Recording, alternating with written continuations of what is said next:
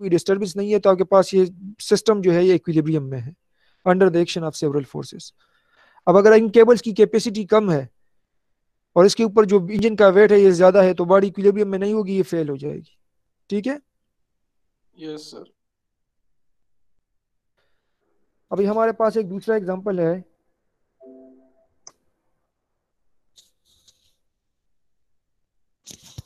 If the sake has a weight of 20 pound, determine the weight of the at B and the force in each card needed to hold the system in the equilibrium position shown. हमारे पास point A के ऊपर जो बोरी है, इसकी wait जो है, ये हमारे पास है ट्वेंटी पाउंड और हमें कह रहे हैं कि पॉइंट सी के ऊपर आपके पास इस बोरी की वेट जो है, ये कितनी होनी चाहिए? और इन मेंबर्स में आपके पास जो फोर्सेज है, वो कितना होना चाहिए कि आपके पास ये सिस्टम जो है, ये इक्विलिब्रियम में हो? तो इसके ऊपर जब हम इक्विलिब्रियम इक्वेशन अप्लाई करेंगे तो हमारे पास ये अननोन्स फाइन हो जाएँगे। तो उतना फोर्सेज मेंबर्स में होगा और जो बुरी की वेट होगी, वो भी हमारे पास आ जाएगी। अगर बुरी की वेट इतनी है तो इसका मतलब है कि ये सिस्टम हमारे पास इक्विलिब्रियम में है। अगर उससे फिर ये वेट ज़्यादा होगी तो अब हमारे पास ये सिस्टम जो है, यह फिर इक्विलिब्रियम में नहीं होगा। तो अब किस तरह से इस प्रॉब्लम को सॉल्व करेंगे? हमारे पास चार अननोन है। एक force in member C D एक force in member E C एक फोर्स इन मेंबर ई जी और एक जो वेट है इस बुरी का। तो चार अननोन है तो एक सी के पॉइंट के ऊपर हम फ्री बॉडी डायग्राम ड्रा कर लेंगे और एक पॉइंट ई e के ऊपर फ्री बॉडी डायग्राम ड्रा कर लेंगे। पॉइंट ई e से इसलिए शुरू करेंगे क्योंकि हमारे पास जो गिवन वेट है वो यहाँ पे हमारे पास एक नॉन क्वांटिटी है। तो पहले पॉइंट ई e की बाड़, आ, फ्री बॉडी डायग्राम ड्रा कर लेते हैं। तो पॉइंट ई e के ऊपर हमारे पास जो फ्री बॉडी डायग्राम होगा ट्वेंटी पाउंड जो है ये हमारे पास वेट है जो बुरी का जो डाउनवर्ड डायरेक्शन में एक्ट कर रही है। ठीक है? This is the twenty pound weight which is acting in the downward direction अब ये एंगल जो है, ये हमारे पास है फोर्टी फाइव डिग्री और ये थर्टी डिग्री है, ये एंगल्स हमारे पास कहाँ से है ये? जरा देखे इस फिगर को। अगर आपके पास ये एंगल 45 डिग्री है, और यहाँ पे आप अगर पैरेलल लाइन ड्रा करें तो आपके पास ये एंगल भी 45 डिग्री का बराबर होगा। ठीक है? ये दोनों एंगल जो है, ये सेम होंगी। अगर इसी तरह आप यहाँ पे एक पैरेलल लाइन ड्रा करेंगे, इस लाइन के अगेंस्ट तो अगर ये एंगल आपके पास थर्टी डिग्री है तो ये भी आपके पास थर्टी डिग्री का बराबर होगा। ठीक है? तो यहाँ पे इस, इस तरह आपके पास एक फ्री बॉडी डायग्राम बन जाएगी। अब इसको ईजी को भी आप दो कंपोनेंट्स में डिवाइड कर ले इसी को भी दो कंपोनेंट्स में डिवाइड कर ले और फिर समेशन ऑफ़ एफ़ और समेशन ऑफ़ एफ़ वाई कर ले। तो हमारे पास समेशन ऑफ़ एफ़ क्या होगा? एक टी जी का एक्स कंपोनेंट होगा और एक टी ई सी का एक्स कंपोनेंट होगा। तो टी ई जी का जो एक्स कंपोनेंट है वो हमारे पास है T E G sine thirty degree और टी ई सी का जो हमारे पास एक्स कंपोनेंट है वो है T E C cos forty five degree यहाँ पे ये एंगल काज में है और ये एंगल जो है ये साइन में है। हालाँकि दोनों जो है ये हॉरिजॉन्टल कंपोनेंट है। ये इसलिए क्योंकि अगर आप देखें तो ई सी का जो फोर्स है इसकी जो एंगल गिवन है हमारे पास ये है 45 डिग्री विद एक्स एक्सिस जब एंगल आपके पास एक्स एक्सिस के साथ हो तो आपके पास जो हॉरिजॉन्टल कंपोनेंट बन जाता है वो बन जाता है इन टर्म्स ऑफ़ काज लेकिन अगर एंगल जो है ये आपके पास गेवन हो वाई एक्सिस के साथ अब यहाँ पे जो एंगल है ये हमारे पास है वाई एक्सिस के साथ तो वाई एक्सिस के साथ जब आपके पास एंगल साइन के साथ हो।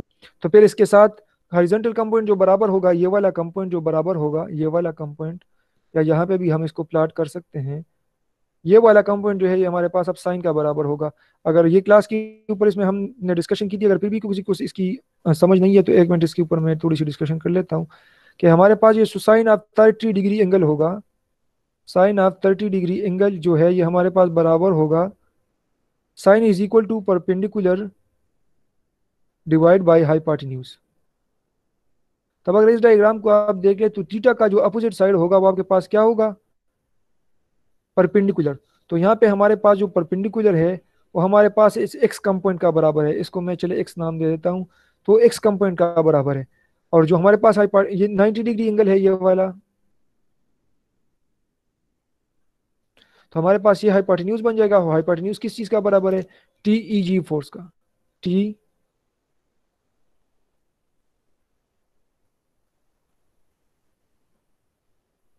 ई जी का। ठीक है?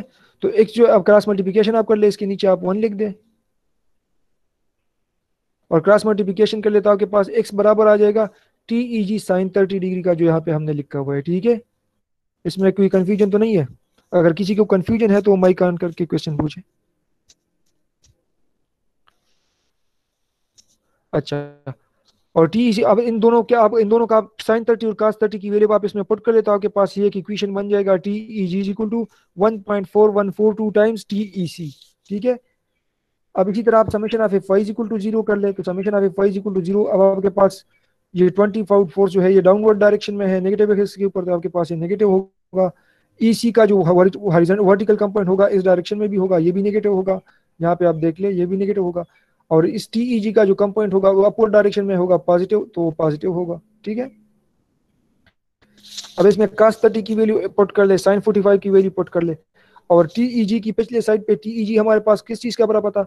1.4142 टाइम्स टीईसी तो ये वैल्यू हमने यहाँ पे पुट कर दी अब इस इक्वेशन में हमारे पास सिर्फ़ टीईसी अननोन है, इस इक्वेशन को जब आप सॉल्व करेंगे तो आपके पास टीईसी की वैल्यू आ जाएगी। टीईसी की वैल्यू जब आपके पास आ जाएगी तो उस टी की वैल्यू को फिर आप इस इक्वेशन में पुट कर लें। टी की वैल्यू आप इस इक्वेशन में यहाँ पे पुट कर लें। तो आपके पास टीईजी की वैल्यू भी आ जाएगी, ठीक है?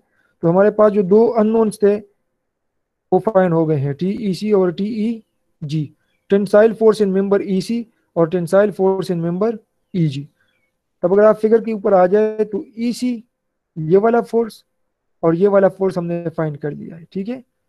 अब इसके पॉइंट के ऊपर जो है ये फ्री बॉडी डायग्राम ड्रा कर लेते हैं पॉइंट सी के ऊपर। तो पॉइंट सी के ऊपर हमारे पास जो फ्री बॉडी डायग्राम होगा, अब जो ई सी फोर्स था, ये पिछले फ्री बॉडी डायग्राम में हमने सॉल्व किया कि हमारे पास इसकी वैल्यू है, वो आ रही है थर्टी एट पॉइंट सिक्स तो यहाँ पे आप इस वैल्यू को लिख लिया, अब आपके पास नोन है thirty eight point six problem में हमसे मांगा गया था कि बी पॉइंट के ऊपर जो बुरी का वेट है, जो सेक का वेट है, वो कितना होगा? तो इसको हम फाइंड करेंगे और हमारे पास जो टी सी डी है, वो भी हमारे पास अननोन है।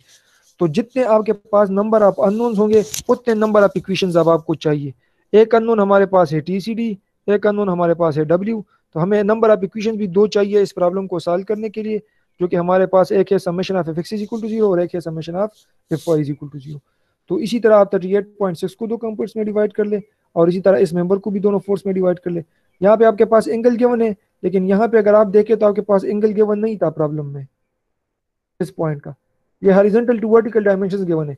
इससे भी आप एंगल भी फाइंड कर सकते हैं और इसकी डायरेक्टली भी आप यूज़ कर सकते हैं कि आपके पास अब यहाँ पे ये हॉरिजॉन्टल फोर का बराबर है और वर्टिकल जो है ये थ्री का बराबर है। तो आप इससे एंगल भी फाइंड कर सकते हैं। Tangent theta is equal to tangent of this theta is equal to perpendicular three divide by base which is equal to four और ये आप डायरेक्टली भी इस तरह कर सकते हैं अगर आपके पास किसी जगह में आपके पास कास थीटा हो तो कास थीटा जो आपके पास कास जो है ये आपके पास किस चीज़ का बराबर होगा? बेस बाई हाइपार्टिन्यूज का।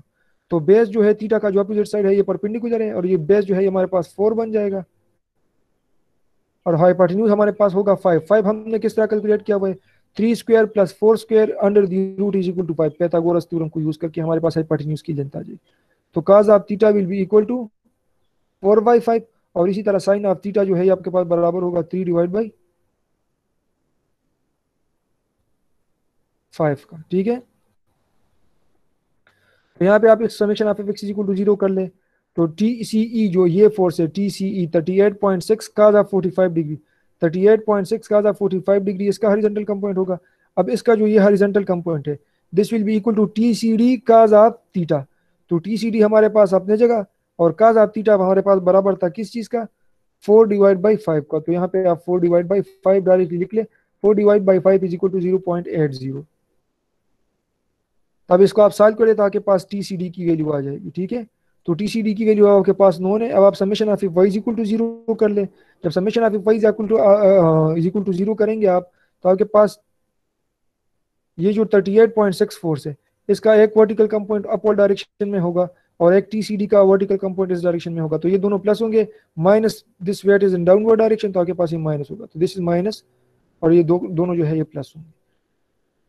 अब पिछले साइड पे हमने टी सी एक मिनट टी सी डी की वैल्यू हमने कैलकुलेट की थी.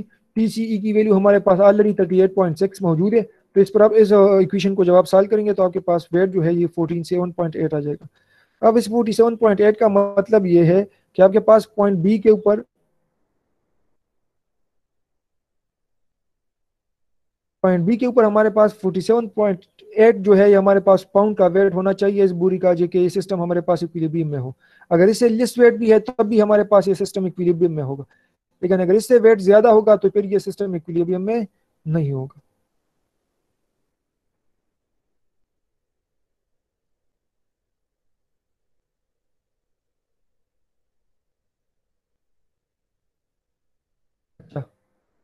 एक तीसरा एग्ज़ाम्पल है, इसके ऊपर, इसमें हमारे पास केबल के बजाय यहाँ पे हमारे पास एक स्प्रिंग भी गेवन है। अब इसमें हमसे क्या मांगा गया है कि determine the required length of cord A C यानी ये वाला लेंथ हमने फाइंड करना है। इस मेंबर का जो लेंथ है, ये हमारे पास प्रॉब्लम में गिवन नहीं है। हमने ये लेंथ फाइंड करना है।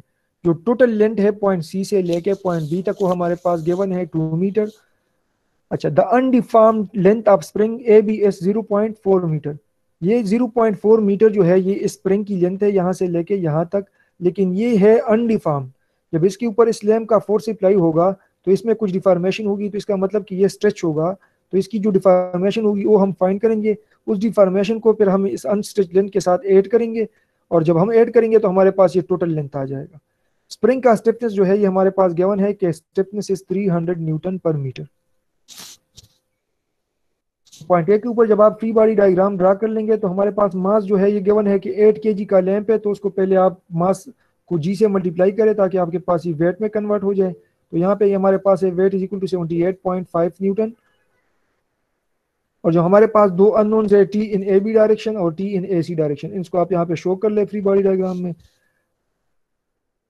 अब हमारे पास है T summation of X equal to zero equation use करें summation of Y equal to zero तो summation of F X is equal to zero तो T A B X direction में है तो ये पॉजिटिव होगा।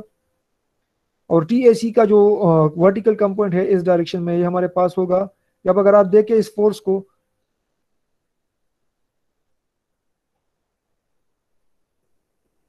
this T A C will be positive यहाँ पे ये टी ए सी जो है, ये हमारे पास इंसाइड फोर्स जो है, ये हमारे पास होगा पॉजिटिव ये अपवर्ड डायरेक्शन में होगा। सॉरी ये वर्टिकल कंपोनेंट है, ये हॉरिजॉन्टल कंपोनेंट अच्छा summation of F equal to zero तो टी ए बी जो है, ये हमारे पास पॉजिटिव होगा, और टी ए सी जो है, ये हमारे पास हॉरिजॉन्टल कंपोनेंट जो है, ये नेगेटिव होगा. तो टी ए बी ये पॉजिटिव और ये जो हॉरिजॉन्टल कंपोनेंट है, ये हमारे पास नेगेटिव होगा. अब इसी तरह summation of F equal to zero अगर आप कर ले तो आपके पास T A C sine thirty जो है, ये इसका वर्टिकल कंपोनेंट ये बन जाएगा, और वेट जो हमारे पास डाउनवर्ड डायरेक्शन में कर रही है नेगेटिव वो इस डायरेक्शन में इस इक्वेशन को आप सॉल्व करें तो आपके पास टी ए सी की वैल्यू आ जाएगी उसी टी ए सी की वैल्यू को फिर आप यहाँ पे पुट कर ले, इस यहाँ पे, और उससे आपके पास टी ए बी की वैल्यू कैलकुलेट हो जाएगी। तो आपके पास अब दोनों फोर्सेज जो है आपके पास अब नॉन है टेंसाइल फोर्सेज ठीक है? लेकिन जो प्रॉब्लम है, हमसे रिक्वायर्ड था वो ये था कि आपके, हम, आपके पास इस मेंबर सी बी का लेंथ सी ए का लेंथ कितना होना चाहिए। तो लेंथ को हम किस तरह से फाइंड करेंगे? अब जो हमारे पास टेंसाइल फोर्स आ गया है मेंबर ए बी में, यानी स्प्रिंग में, हमारे पास मेंबर ए बी कौन सा है? ये ए बी ये हमारे पास स्प्रिंग है। स्प्रिंग में हमारे पास टेंसाइल फोर्स की वैल्यू हमने कैलकुलेट की है स्टेपनेस हमारे पास मौजूद है। तो एफ़ इज़ इक्वल टू के इसको यूज़ करेंगे T is equal to K S T हमारे पास मौजूद है के हमारे पास गिवन डेटा है तो इसको हम फाइंड कर लेंगे। ये इस हमारे पास क्या होगा? डिफॉर्मेशन तो this is the deformation 0.453 meter हमारे पास इसमें डिफॉर्मेशन है। तो अनस्ट्रेच लेंथ हमारे पास 0.4 था, और जो इसमें डिफॉर्मेशन है, ये 0.453 तो इसकी जो टोटल लेंथ बन जाएगी स्प्रिंग की, वो हमारे पास बन जाएगी 0.853 की। यानी हमारे पास जो टोटल लेंथ होगा, ये जो टोटल लेंथ होगा, हमारे पास स्ट्रेच लेंथ ये ये हमारे पास 0.4 point four plus zero point four five three तो ये हमारे पास 0.853 बन जाएगा, ठीक है?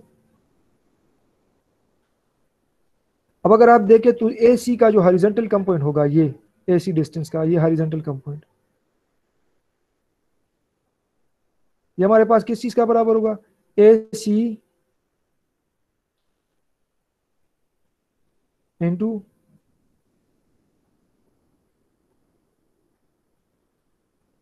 cos of 30 degree ठीक है? तो ये हमारे पास ए सी काज ऑफ़ 30 डिग्री का बराबर होगा। अब ए सी काज 30 डिग्री को अगर आप इसके साथ प्लस करेंगे 0.853 के साथ ये टोटल बराबर होगा टू मीटर का। तो हमारे पास जो टोटल टू मीटर डिस्टेंस है, अब ये बराबर होगा एल ए सी का थर्टी डिग्री का plus zero point eight five three का। इस इक्वेशन को जब आप सॉल्व करेंगे तो आपके पास member length of member A C आपके पास कैलकुलेट हो, हो जाएगी जो हमसे मांगा गया था कि आपके पास ए सी मेंबर का जो लेंथ है वो कितना होना चाहिए। तो length of A C member will be 1.32 meter अगर यहाँ तक किसी का कोई क्वेश्चन है तो क्वेश्चन पूछे।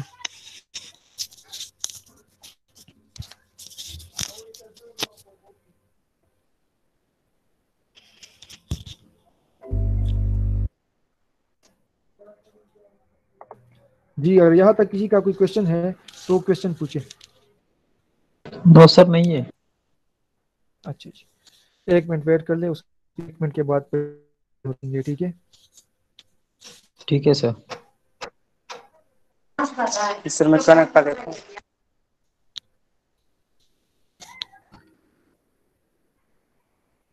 क्लास खत्म शो क्लास खत्म नहीं है क्लास जारी है। Who is student double zero zero student double zero कौन है? अनीस।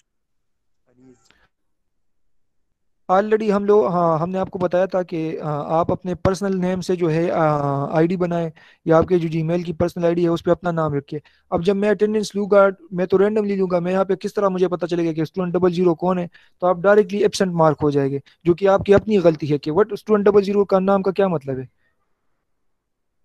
आप इसको एडिट कर ले अपना सही नाम लिख ले यहाँ पे ताकि मुझे अंदाज़ा हो कि ये किस किस स्टूडेंट ने क्लास को ज्वाइन किया हुआ है ताकि मैं आपके अटेंडेंस पर फिर आपको प्रेजेंट मार्क कर सकूँ।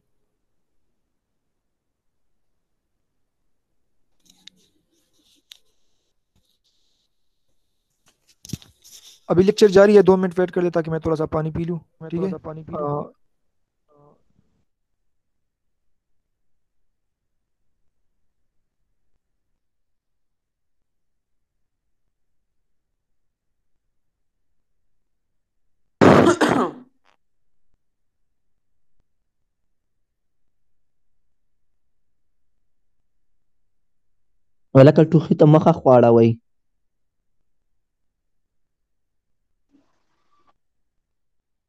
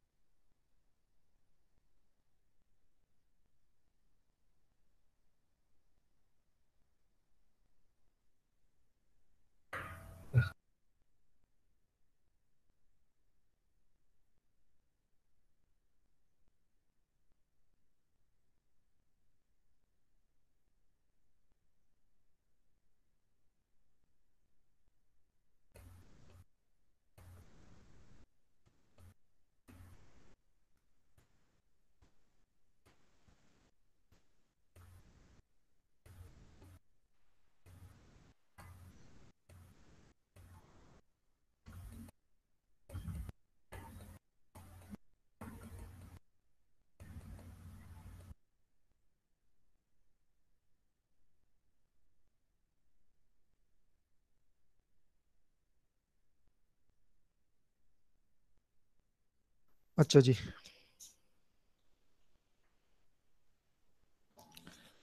अब ये जो फोर्सेस जिसके ऊपर हमने प्रॉब्लम सॉल्व की अगर आपने इन फोर्सेस को ऑब्ज़र्व किया था तो ये हमारे पास थे concurrent coplanar forces concurrent coplanar forces का मतलब ये है कि अगर हमारे पास ये जो फोर्सेस है, इसकी लाइन ऑफ़ एक्शन जो है, ये एक पॉइंट पे इंटरसेक्ट कर रही थी।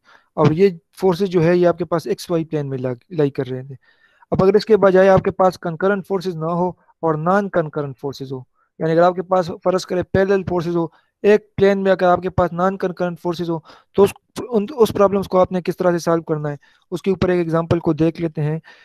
अब अगर यहाँ पे आप देखें कि this is the forty five K G uniform I beam supports the load shown determine the reactions at the support जो हमारे पास वेट है वेट है आई बीम का वो हमारे पास है 450 केजी तो 450 केजी जो है, ये इस बीम का वेट है और इसके ऊपर ये 220 केजी का एक और लोड भी अप्लाई है अप्लाइड है। तो हमारे पास सपोर्ट के ऊपर जो रिएक्शन होंगे इस पॉइंट के ऊपर और इस पॉइंट के ऊपर, हमारे पास जो सपोर्ट रिएक्शन होंगे, वो हम किस तरह से फाइंड करेंगे और कितने होंगे? अब बीम के वेट को अगर आप अगर आप यहाँ पे देखें तो ये आपके पास है मास तो मास को पहले आप वेट में कन्वर्ट कर दें, यानी फोर्स में कन्वर्ट कर दें तो 450 multiply by 9.81 will be the weight of the beam and 220 multiplied by 981 will be the weight of the this drum. ठीक है तो पहले आप 450 के साथ 9.81 मल्टीप्लाई करें और इसी तरह इस 220 के साथ आई होप सो कि आप लोगों को स्क्रीन क्लियर नज़र आएगा। यस सर आ रहा है। Yes, तो यहाँ पे आपके पास 450 मल्टीप्लाई बाई 9.81 और यहाँ पे ये है 220.8 two twenty multiply by nine point eight one तो आपके पास न्यूटन में आ जाएगा। अब जो हमारे पास बीम का जो वेट होगा, वो एग्जैक्टली मेट के ऊपर एक्ट करेगा तो फोर मीटर यहाँ से और फोर मीटर इस साइड से, ठीक है? तो हम कौन से, अब हमारे पास ये जो है, ये सपोर्ट अगर आप इस सपोर्ट को देख ले तो ये दिस इज़ पेन सपोर्ट या इसको हेंड सपोर्ट भी कह सकते हैं and this one is roller support तो रोलर सपोर्ट के ऊपर जो हमारे पास अननोन होगा, वो हमारे पास होगा एक। और जो हैंड सपोर्ट होगा, उसके ऊपर हम हमारे पास जो अननोन होंगे, वो होंगे दो। ठीक है? तो एक summation of X is equal to zero एक summation of F Y equal to zero और एक summation of F Z equal to zero हमारे पास तीन इक्वेशन होने चाहिए। लेकिन अगर आप यहाँ पे देख ले, जो अप्लाइड फोर्सेज है, वो हमारे पास है पैरेलल यानी सिर्फ़ वही डायरेक्शन में है। तो हमारे पास एक भी ऐसा फोर्स नहीं है जो एक्स डायरेक्शन में हो। तो समेशन ऑफ़ एफ़ एक्स जो है ऑटोमेटिकली हमारे पास ज़ीरो होगा। तो इस तरह के प्रॉब्लम को सॉल्व करने के लिए आपके पास सिर्फ़ दो इक्वेशन भी काफ़ी है, कि summation of Y is equal to zero और summation of moment about A equal to zero A point या जो भी बी पॉइंट आप लिया या ए पॉइंट या जो भी पॉइंट आप लेना चाहते हैं। अच्छा तो summation of F Y equal to zero करेंगे अब अब summation of F Y equal to zero में हमारे पास एक रिएक्शन होगा ए वाई पॉइंट ए के ऊपर, ये जो अपवर्ड डायरेक्शन में है पॉजिटिव इसी तरह आपके पास एक एक होगा बी वाई यहाँ पे मैं लिख लेता हूँ, यहाँ पे हमारे पास होगा बी वाई ये भी अपवर्ड डायरेक्शन में होगा पॉजिटिव और ये जो 450 मल्टीप्लाई बाई 9.81 वैल्यू है, ये हमारे पास होगा डाउनवर्ड डायरेक्शन में नेगेटिव और इसी तरह ये वैल्यू भी हमारे पास है डाउनवर्ड डायरेक्शन में नेगेटिव ठीक है तो आपके पास एक इक्वेशन बन जाएगी A Y plus B Y is equal to this value अब अगर आप समेशन आप मोमेंट अबाउट पॉइंट ए करेंगे तो आपके पास अब दोनों अननोन है, एक ए वाई अननोन है और एक बी वाई अननोन है। तो आप किसी एक पॉइंट के ऊपर समेशन ऑफ़ मोमेंट कर ले, क्योंकि अगर आपके पास बॉडी इक्विलिब्रियम में है तो summation of moments will be equal to zero अब अगर इसे ए पॉइंट के अबाउट आप मोमेंट्स फाइंड करेंगे summation of moments about this point A B Y के साथ अब अगर आप पॉजिटिव कंसिडर कर ले, इस डायरेक्शन को, जहाँ इस तरह शो किया गया है कि आपके पास अगर आप क्लॉकवाइज मोमेंट्स को इस तरह पॉजिटिव कंसिडर कर ले तो ये आपके पास होगा B Y multiply by total distance total distance जो है ये हमारे पास है एट एट मीटर का बराबर। तो ये पास के पास प्लस होगा क्योंकि क्लॉक वाइज मोमेंट्स को हम पॉजिटिव ले रहे हैं। तो B Y multiply by eight अब ये जो डाउनवर्ड फोर्स है, ये वाला जो वेट ऑफ़ बीम है, इसके साथ चार मीटर मल्टीप्लाई होगा। और ये आपके, अब अब हमारे पास ये जो है, ये इस डायरेक्शन में है। तो एंटी क्लॉकवाइज हमारे पास नेगेटिव होगा। तो आप यहाँ पे लिख लें minus four fifty multiply by nine point eight one multiply by four nine point eight one four fifty K G को न्यूटन में कन्वर्ट करने के लिए, और फोर जो है ये इसके साथ डिस्टेंस और इसी तरह ये जो टू ट्वेंटी है टू टू ट्वेंटी का जो डिस्टेंस होगा, वो होगा four meter plus one point six meter तो हमारे पास ये फाइव पॉइंट सिक्स मीटर का बराबर होगा. और ये भी माइनस इसलिए होगा क्योंकि ये जो मूवमेंट प्रोड्यूस करेगा, वो भी एंटी क्लॉकवाइज डायरेक्शन में होगा. ठीक है? तो जब आप इस इक्वेशन को सॉल्व करेंगे तो आपके पास बी वाई की वैल्यू आ जाएगी. तो उस बी वाई की वैल्यू पर आप यहाँ पे पुट कर दे तो आपके पास ए वाई ए वाई की वैल्यू भी आ जाएगी। तो आपके पास जो सपोर्ट रिएक्शन होंगे ए वाई के ऊपर जो आपके पास रिएक्शन होगा वो होगा two thousand eight hundred and fifty newton और आपके पास जो बी के ऊपर जो रिएक्शन होगा सपोर्ट बी के ऊपर यहाँ पे ये बी वाई ये आपके पास बराबर होगा three thousand seven hundred and twenty newton is it clear अगर इसमें कोई कंफ्यूजन है या कोई क्वेश्चन है तो आप पूछें। Sir sir ji ji. Sir ji summation of moment sir ji 5.6 कहाँ से आया है? ये 5.6 जो है, अगर आप देखें तो हमारे पास ये जो वेट होगा, ये एग्जैक्टली मेट के ऊपर एक करेगा। अगर आप यहाँ पे देख ले, इस प्रॉब्लम में विच 2.4 मीटर माइक्रोफोन को जरा ऑफ़ करें जरा माइक्रोफोन को ऑफ़ करें जरा। 2.4 मीटर जो है, ये अब हमारे पास ये वो डिस्टेंस है, और ये 5.6 मीटर है। जो वेट ऑफ़ बीम होगा, जो वेट ऑफ़ बीम होगा, ये एग्जैक्टली मेट के ऊपर एक्ट करेगा। मेट के ऊपर। टोटल लेंथ जो है ये हमारे पास 5.6 प्लस टू पॉइंट जो है ये हमारे पास 8 का बराबर होगा तो ये एक साइड पे ये बन जाएगा 4 मीटर ठीक है? अगर एक साइड पे ये 4 मीटर बन रही है तो ये इस साइड पे 4 मीटर में से ये आपके पास है 2.4 मीटर तो ये रिमेनिंग ये पोर्शन कौन कितना रह जाएगा? दिस विल बी 1.6 तो अगर आप डायग्राम ड्रा कर लेंगे यहाँ पे तो आपके पास मेट के ऊपर जो फोर सेक्ट करेगा तो आपके पास ये होगा फोर मीटर और आपके पास ये 1.6 मीटर बच जाएगा। और ये 2.4 मीटर इस साइड पे ठीक है? तब इस फोर्स के साथ आप ये डिस्टेंस मल्टीप्लाई करेंगे ये। आपके पास ये ऑलरेडी गिवन है यहाँ पे। ये जो फोर्स है इस पॉइंट के ऊपर। तो समेशन ऑफ़ मोमेंट अबाउट हम पॉइंट ए फाइंड कर रहे हैं तो पॉइंट ए से लेके यहाँ तक ये जो डिस्टेंस है ये 5.6 मीटर है। ठीक है? यस सर अच्छा किसी और का भी किसी और का अगर कोई क्वेश्चन हो तो क्वेश्चन पूछें।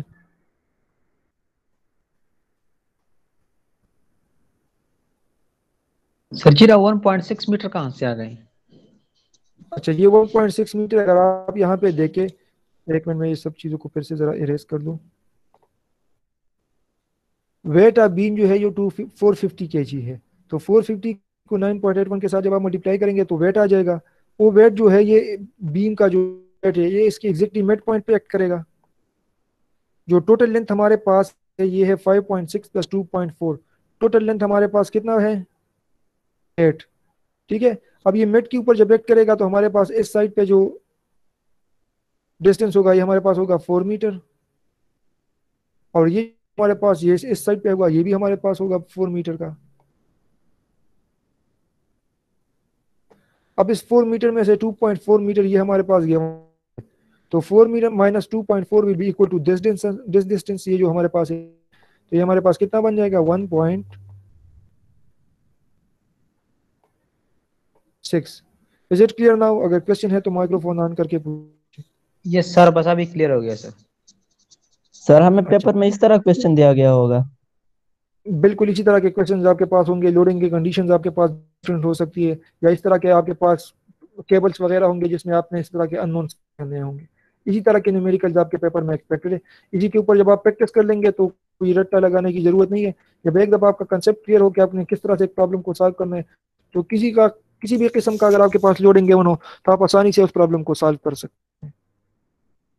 यस सर इसके बाद है rectangular components in three dimensional तो थ्री डायमेंशनल में आप आपके पास जो अगर आपके पास थ्री डायमेंशनल में केबल्स गिवन है तो थ्री डायमेंशनल में आपके पास जो है फॉर एग्जांपल एक एग्जांपल के ऊपर आ जाते हैं।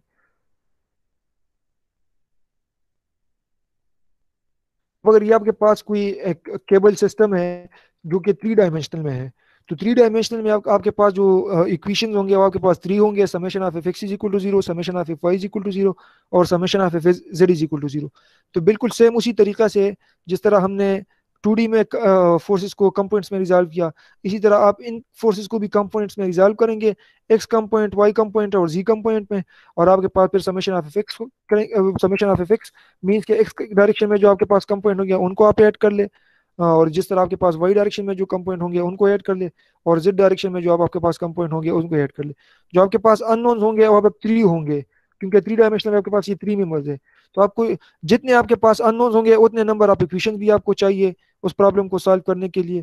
तो आपके पास तीन अननोन है तो तीन इक्वेशन भी है summation of x is equal to zero summation of y is equal to zero summation of z is equal to zero तो इन तीनों इक्वेशंस को आप सॉल्व कर देते आपके पास ये वैल्यूज़ आ जाएगी समेशन ऑफ़ आपके पास force and member C force and member D और force and member G B आ जाएगी, ठीक है? तो थ्री डायमेंशनल में आपके पास वही सेम प्रोसीजर है जिस तरह आपके पास टू डायमेंशनल में है। तो आप खुद को इससे गो थ्रू हो जाए लेक्चर मैंने ऑलरेडी अपलोड किया हुआ है गूगल क्लासरूम के ऊपर। आप वहाँ से इसको डाउनलोड कर लें और इससे गो थ्रू हो जाए कि आपके पास थ्री डायमेंशनल में ये फोर्सेज और या ये जो केबल में फोर्सेज है या फोर्स के कंपोनेंट्स है आप या किसी फोर्स को किस तरह से कंपोनेंट में रिजॉल्व करेंगे और किस तरह से केबल में आप अननोन फोर्सेस को फाइंड करेंगे इससे आप खुद गो थ्रू हो जाए ठीक है? ठीक है सर। अगर इसमें फिर कोई कंफ्यूजन होगी या नेक्स्ट क्लास में मुझसे क्वेश्चन पूछे और गूगल क्लासरूम में भी लेक्चर के ऊपर आप कमेंट करके पूछ सकते हैं ठीक है? ठीक है सर। ओके सर तो जी आज के लेक्चर में अगर किसी का कोई क्वेश्चन हो तो क्वेश्चन पूछे। Sir ji ji. Sir equilibrium के लिए तरजीह दोनों कंडीशन ज़रूरी है सर का एक भी काफ़ी है। अ, जिस तरह हमने पहले स्लाइड में जिस तरह पहले स्लाइड में हमने डिस्कस किया पहले स्लाइड में अगर आप यहाँ पे देखिए अपना माइक्रोफोन को आप जरा बंद करें। यस अब अगर इस स्लाइड के ऊपर आप देखें तो इस स्लाइड के ऊपर अगर आप देखें तो हमारे पास अगर सिस्टम ऑफ़ फोर्सेस डिफरेंट हो तो आपके पास कितने नंबर अब जिस तरह हमने ये केबल्स के ऊपर प्रॉब्लम्स को सॉल्व किया तो हमारे पास उसमें जो फोर्सेस थे वो कंकरेंट फोर्सेस थे। तो हमें सिर्फ़ दो इक्वेशंस चाहिए थे, एक summation of x is equal to zero और एक summation of y is equal to zero two dimensional में, ठीक है? अगर आपके पास सिर्फ़ एक ही लाइन में फोर्सेज है तो आपको सिर्फ़ अब एक इक्वेशन चाहिए जिस तरह हमारे पास कुलीनियर फोर्सेज है तो हमें सिर्फ़ एक इक्वेशन चाहिए। अब जिस तरह बीम के केस को हमने डिस्कस किया, ये बीम के ऊपर जब हमने लास्ट एग्जांपल पढ़ा तो हमारे पास ये रिएक्शंस थे और ये हमारे पास उसके ऊपर कुछ वेट्स थे, अपना वेट और कोई अप्लाई वेट तो ये सारे फोर्सेज जो थे, ये पैरेलल थे। तो पैरेलल फोर्स सिस्टम में फिर आपके पास एक समेशन ऑफ़ एफ़ चाहिए और एक समेशन ऑफ़ मोमेंट चाहिए। Summation of moment in that direction जिसमें आपके पास फोर्सेज हो।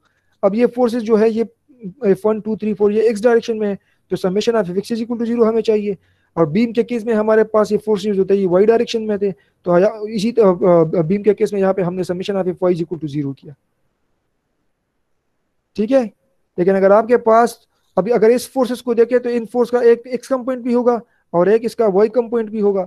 तो आपके पास summation of F x equal to zero भी चाहिए summation of y equal to zero भी चाहिए और समीशन ऑफ़ मोमेंट भी चाहिए इन सब फोर्सेस को अननोन्स को फाइंड करने के लिए। इज़ इट क्लियर नाउ अगर क्लियर नहीं है तो माइक्रोफोन ऑन करके क्वेश्चन पूछिए sir ji ji. Sir ji equilibrium का मतलब इसे यही है कि इनका ना कोई ट्रांसलेशन मोशन होगा ना कोई वाइब्रेटरी मोशन होगा sir ji. Exactly exactly sir ji ये फ़ैन फ़ैन तो सिर्फ़ रोटेटरी मोशन एबो करती है सर जी ट्रांसलेशन मोशन तो नहीं वो नहीं करती मतलब दा। क्या मतलब सर जी फ्रेम फ़ैन भी एक सर जी फ़ैन फ़ैन भी एक इक्विलिब्रियम पोजीशन में है sir ji. Frame fan fan पंखा सर जी। अच्छा पंखा। पंखा आपके पास इक्विलिब्रियम में है ना? अगर पंखा इक्विलिब्रियम में नहीं होगा तो आपके सर के ऊपर गिर जाएगा। माइक्रोफोन का ऑफ़ करें जरा जी वो जी जी जी जी जी जी जी पूछे पूछे जी जी। जी जी ऑन करें दोबारा ऑन करें पूछे सर जी वो तो सिर्फ़ एक कंडीशन को ओबे करती है सर जी उसमें तो सिर्फ़ रोटेटरी मोशन है। नहीं पंखे के मोशन को आप छोड़े हमारे फोर्सेस के साथ काम है। अब अब माइक्रोफोन ऑफ़ करें जरा। ये हमारे पास है सीलिंग ठीक है? अब इससे अगर एक पंखा जो है, ये अवेजा है। अब ये एक पंखा है जो इससे अवेजा है।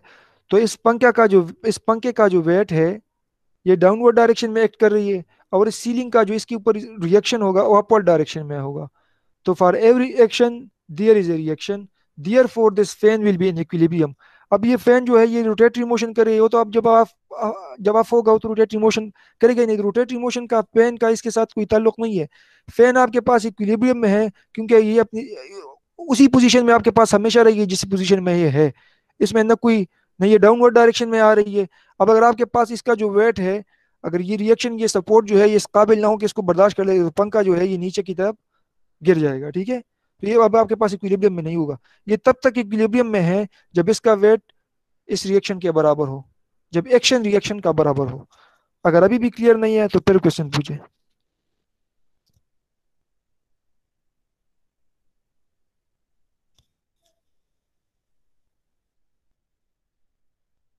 सर ये नंबर फोर रिपीट कर सकते हो जनरल जी जी।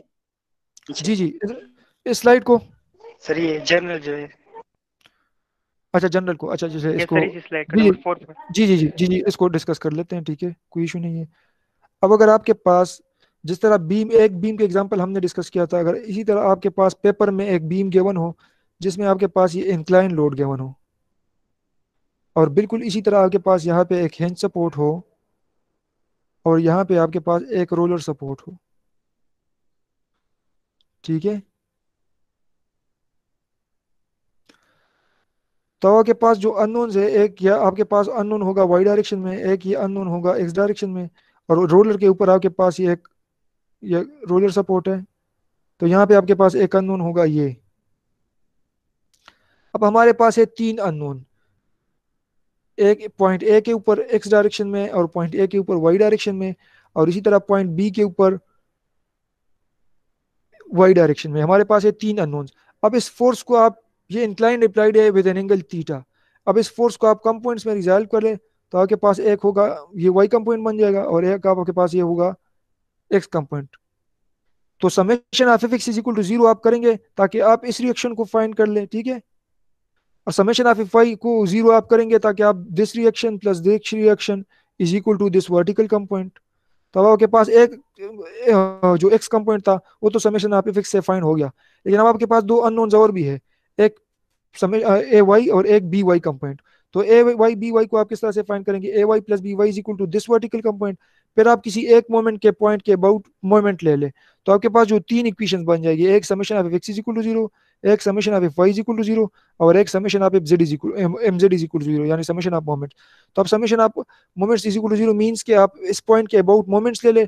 तो R B multiply by this distance minus this component multiply by this distance तो आपके पास ये आर बी की वैल्यू कैलकुलेट हो जाएगी। तो उसी आर बी की वैल्यू को फिर आप R A plus R B is equal to vertical component का जो इक्वेशन था, जो समीशन ऑफ़ वाई से हमने डिराइव किया था, उसमें आप पुट कर लेंगे तो आपके पास ए वाई भी कैलकुलेट हो जाएगा। तो आपके पास तीन अननोन्स है तो आपको इसलिए तीन इक्वेशन भी चाहिए, उन वैल्यूज़ को फाइंड कर ले। अगर हम उसी एग्जांपल के ऊपर चले जाए बीम के एग्जांपल के ऊपर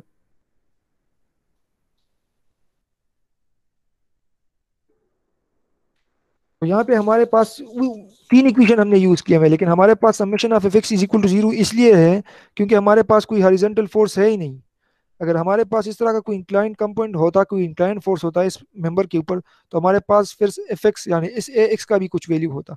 अभी भी हमने summation of F x equal to किया हुआ है ज़ीरो लेकिन हमारे पास चूँकि कोई हॉरिजॉन्टल फोर्स है ही नहीं तो हमारे पास एक्स जो है ये ज़ीरो का बराबर होगा। इज़ इट क्लियर ना अगर अभी भी क्लियर नहीं है तो आप दोबारा क्वेश्चन पूछें। सर क्लियर है अच्छा जी। अगर किसी और का कोई क्वेश्चन है तो क्वेश्चन पूछे।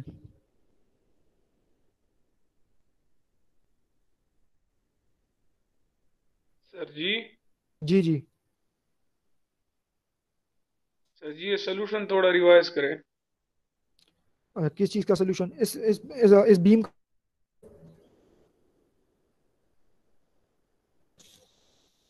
यस इस प्रॉब्लम का सोल्यूशन या अच्छा अच्छा अच्छा अच्छा चलिए इसको डिस्कस कर लेते हैं।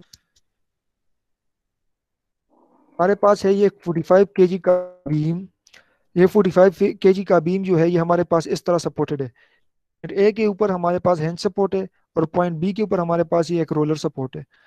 तो हमारे पास यहाँ पे दो अननोन होंगे ए वाई और ए एक्स और यहाँ पे हमारे पास सिर्फ़ एक अननोन होगा बी वाई वर्टिकल डायरेक्शन में। हमने सपोर्ट रिएक्शंस को कैलकुलेट करना है तो किस तरह से कैलकुलेट करेंगे? हमारे पास एक ये अप्लाई लोड है टू ट्वेंटी के जी तो twenty K G multiply by nine point eight one कर ले न्यूटन में कन्वर्ट करने के लिए। जो बीम का वेट है फोर फिफ्टी के जी तो इसके साथ nine point eight one multiply करें तो नाइन पॉइंट एट मल्टी करने के बाद आपके पास ये न्यूटन में आ जाएगा। जो बीम का इटसेल्फ जो बीम का खुद का वेट है, वो आपके पास बीम के मिड पॉइंट पे एक्ट करेगी। बीम के एग्जैक्टली मिड पॉइंट के ऊपर ये। फोर मीटर इस साइड पे आपके पास डिस्टेंस होगा और फोर मीटर इस साइड पे। ठीक है? जो आपके पास ये two point four meter distance इस फोर्स का, इस साइड से गिवन है, अब आपके पास ये मिड पॉइंट है फोर मीटर इस साइड पे है और ये टू पॉइंट फोर मीटर तो फोर माइनस टू मीटर जो है, आपके पास ये रिमेनिंग डिस्टेंस आ जाएगी वन पॉइंट सिक्स मीटर का। अब अगर आप summation of x is equal to zero कर ले तो आपके पास एक्स डायरेक्शन में सिवाय इस ए एक्स के कोई भी फोर्स नहीं है। तो A x is equal to zero फिर आप उसके बाद summation of moment about point A ले तो समीशन ऑफ़ मोमेंट अबाउट अगर मैं पॉइंट ए करूँगा तो ए वाई के साथ कोई परपेंडिकुलर डिस्टेंस नहीं है कि इसके मल्टीप्लाई कर सकूँ या एक्स के साथ। तो summation of moment about point A अगर मैं करूँगा तो हमारे पास B y multiply by this whole distance which is eight meter B y multiply by eight meter और इसी तरह इन दोनों फोर्सेस के साथ अपने डिस्टेंस मल्टीप्लाई करेंगे। तो इस फोर्स के साथ फोर मीटर मल्टीप्लाई करेंगे, यहाँ पे देखिए फोर लिखा गया है, और इस फोर्स के साथ ये five point six distance multiply करेंगे, ये फाइव पॉइंट सिक्स जो क्लाक वाइज मूवमेंट्स है उसको हमने पॉजिटिव कंसीडर किया हुआ है, जिस तरह मैंने क्लास में बताया था कि अगर आप क्लाक वाइज को पॉजिटिव कंसीडर कर रहे हैं तो आप एंटी क्लॉक वाइज को फिर नेगेटिव कंसीडर करेंगे। अगर आप एंटी क्लॉक वाइज को पॉजिटिव कंसीडर कर रहे हैं तो फिर आप क्लॉक वाइज को नेगेटिव कंसीडर कर ले। अब यहाँ पे देखे आप कि इस फोर्स को, यानी ये जो देखे आप, हमने क्लॉक वाइज को पॉजिटिव कंसिडर किया हुआ है। तो बी वाई जो है, ये हमारे पास इस डायरेक्शन में होगा which mean this is in clockwise direction अब ये जी जो है, ये पॉइंट अबाउट पॉइंट ए जो है, ये इस डायरेक्शन में मूवमेंट काज करेगा। और ये फोर्स जो है, ये भी इस डायरेक्शन में मूवमेंट काज करेगा। तो these forces are anticlockwise direction तो ये हमारे पास नेगेटिव बन जाएँगी। तो यहाँ पे इसलिए हमने नेगेटिव नेगेटिव का साइन रखा है, ठीक है? तो 450 हमारे पास मास था 9.81 से के साथ इसलिए मल्टीप्लाई किया था कि न्यूटन में कन्वर्ट कर ले, और चार इसकी जो ये डिस्टेंस है। इसी तरह 220 हमारे पास ये फोर्स है 9.81 to convert it into newton और फिर उसके साथ आपके पास ये 5.6 डिस्टेंस होगा। 4 मीटर प्लस 1.6 मीटर यहाँ से लेके यहाँ तक ये जो डिस्टेंस है। तो ये 5.6 और बी वाई से लेके यहाँ तक ये जो टोटल डिस्टेंस है बीम की जो टोटल लेंथ है, हमारे पास 8 मीटर की बराबर है। तो plus B y multiply by eight तो इसको जब आप सॉल्व करेंगे तो आपके पास बी वाई की वैल्यू कैलकुलेट हो जाएगी। उसके बाद आप summation of F y equal to zero कर ले तो summation of F y equal to zero तो ए वाई आपके पास अपवर्ड डायरेक्शन में है तो अपवर्ड डायरेक्शन को आप पॉजिटिव कंसिडर कर ले तो ए वाई आपके पास ये भी अपवर्ड डायरेक्शन में है तो प्लस बी वाई और आपके पास ये दोनों जो है, ये नेगेटिव डायरेक्शन में है। तो आपके पास नेगेटिव होंगे। तो A y plus A y इस साइड से आप आ जाए इस डायरेक्शन में। तो plus A y minus this force, minus this force, plus reaction at B. Reaction at B को हमने ऑलरेडी फाइंड किया हुआ है तो उसकी वैल्यू हमने यहाँ डायरेक्टली लिख दी है। थर्टी सेवन टू ज़ीरो तब इस इक्वेशन को जब आप सॉल्व करेंगे तो आपके पास ये वैल्यू आ जाएगी ए वाई। तो ए वाई के यहाँ पे जो रिएक्शन होगा वर्टिकल ए वाई, ये 200 2850 न्यूटन का बराबर है। और बी वाई के ऊपर जो हमारे पास वर्टिकल रिएक्शन है वो बराबर है 3720 न्यूटन का। इज़ इट क्लियर नाउ अगर अभी भी कंफ्यूज